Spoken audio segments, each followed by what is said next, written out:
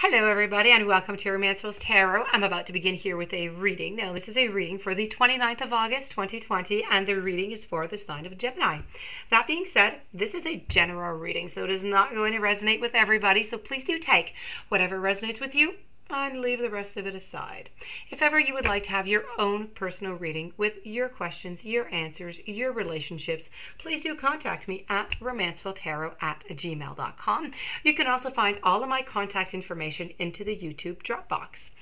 Um, on that note, if you do enjoy my channel and you have not yet subscribed, please do click the subscribe button to show your support and to show your encouragement to the channel and to myself. And I would be very, very grateful. So, with no further ado, let's begin this reading and uh, and see what is in store for you. Now, the title of this reading is Will My Ex Come Back to Me? This is what we're looking for. So, may it be with contact or no contact right now. Let's go see what the odds are. Let's go see if it's going to be a yes, if it's going to be a no, or maybe a perhaps.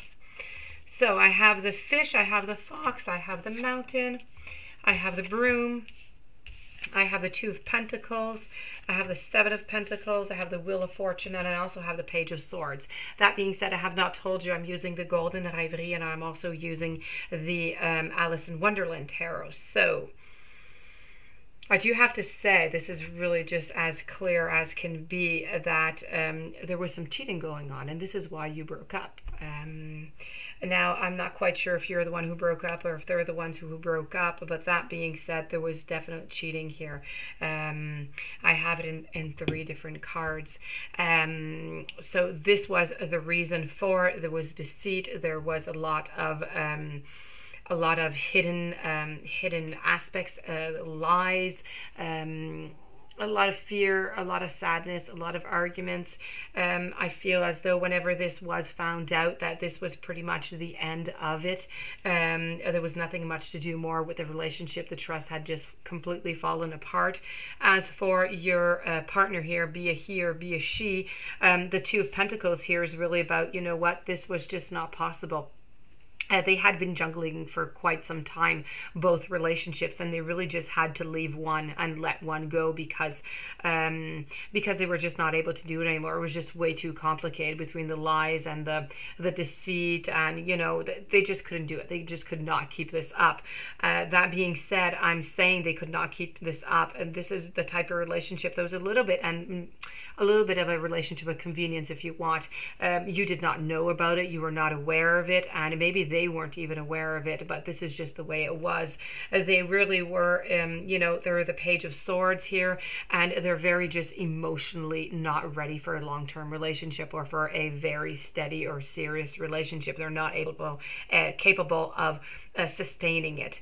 Uh, they um, they like to juggle around a lot with different type of relationships, different people. They like to see different things. They like to move a lot. They like to do things. Uh, they like novelty. And that being said, they you know your partner really did not do on purpose. But that being said, they did end up meeting somebody else. There was some cheating, um, and the obstacles were just way way way too big. I mean, this was just too much, and I feel as though they actually, because I do have the answer here, are the one who broke it up because um, I do feel that they still are with that other person that they were cheating with. I feel as though they're still seeing them. Now, do they love them or not? I don't know. Perhaps it's again a relationship of convenience that is just continuing like that onto the side. But with you, it had to end because you found out and there was no more trust into the relationship um, and there was nothing left to do. As I can see with the Seven of Pentacles, Seven of Pentacles is all about, you know, really trying to work at a relationship, trying to do something with it, but it's just completely impossible because, you know, like this is the growth of the tree. The tree was planted with white roses, and the queen, the red queen of hearts, wanted the red roses. Now it's impossible to have a tree with, you know, painted roses on it. And, you know, this little man here is, you know, acknowledging this and is saying, that's it, I quit, I can't do this, this is not going to work, it's going to end up in failure again. That being said, I do feel as though, yes, you know, there was an abundance of people that are around. I feel like there are people that are around you that can support you. I feel like the, uh, your partner is surrounded by a few people also on um, their side. I feel as though um, in this relationship for a long, long time, you were just kind of running around, going over and over and over again. And I feel you're kind of doing the same thing.